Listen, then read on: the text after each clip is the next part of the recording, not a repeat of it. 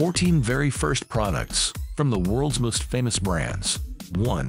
Sony Rice Cooker. Sony founder Masaru Ibuka invented the electric rice cooker. It was a wooden bucket with electrodes at the bottom. The rice always came out over or undercooked, so the prototype was never released. It sits at the Sony archives in Shinagawa. 2. Pixar Image Computer. Pixar was originally a division of Lucasfilm. It was originally called the Graphics Group. The image computer was their big invention. They sold it to Disney, and the rest is history. 3. Samsung Grocery Store. Samsung Sanghoe was founded in 1938. It was a small trading company with 40 employees. It dealt in dried fish, locally grown groceries, and noodles. 4.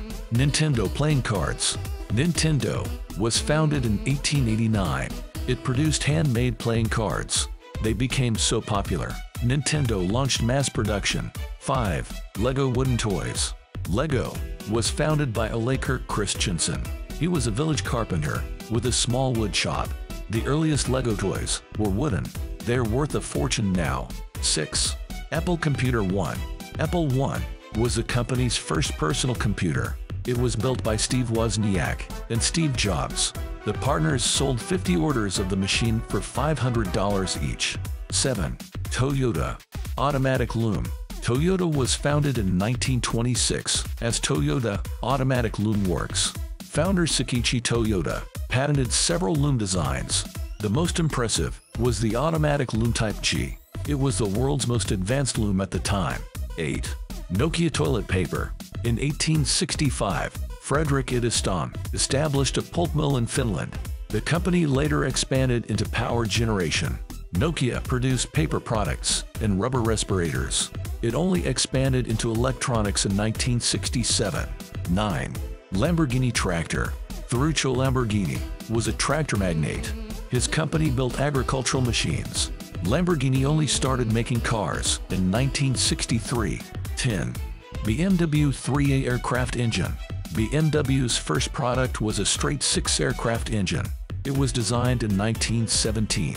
Then the company expanded to motorcycles. They only released their first car in 1928. 11. Wrigley Soap. William Wrigley Jr. founded his soap company in 1891. Then he started adding chewing gum to each purchase.